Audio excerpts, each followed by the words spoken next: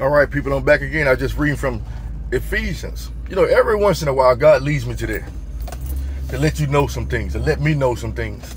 You see, why you why you study to show yourself approved so you can keep remembering. It's like you need to read the Bible, get a refresher course. And a lot of times you're going to realize you're not reading this because of you, just only because of you. You're reading it to tell others about it. You know, if God tells you not to keep company with certain people, he tell you, yes, I know they were like, why do you sit with sinners? They told Jesus, why you sit with sinners?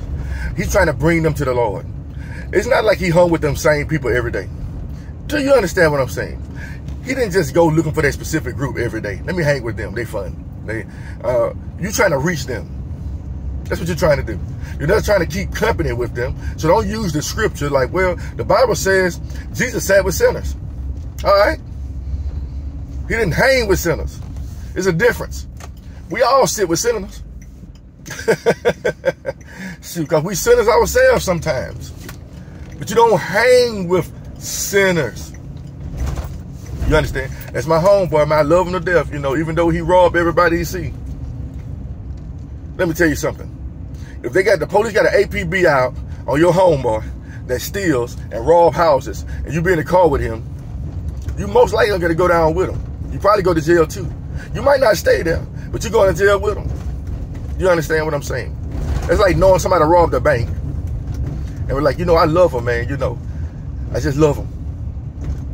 So I'm going to hang with him anyway. Even though I know he done robbed half the people in the neighborhood. And the thing is, you're going to realize that everybody ain't Christian. So some people who uh, he done robbed going to seek revenge.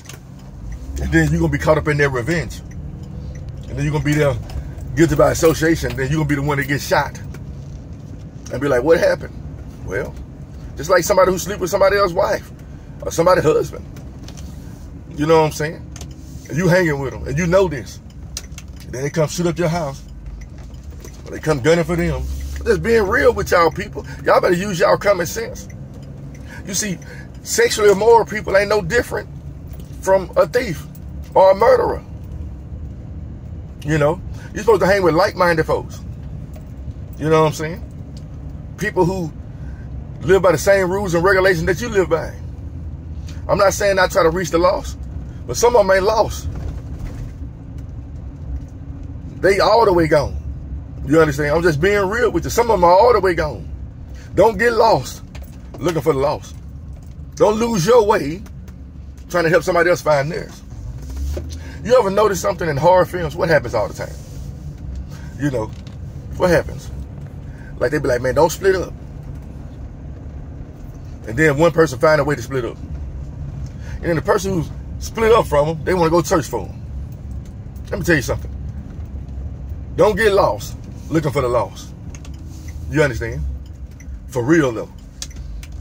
It's common sense. You see it all the time. One thing about horror films and movies, they tell you who all normally get killed in horror films. Fornicators, drunkards, sexually immoral people. You know, certain characteristics, liars, bullies. It's like they always get taken out of it. Then the person that's innocent, I ain't saying perfect, but innocent, that's not doing none of the things that everybody else is doing, they normally live. But they don't even always case. Sometimes they die in the movies because of who they hanging with. They die too. Like, I wasn't expecting them to die. They ain't did nothing.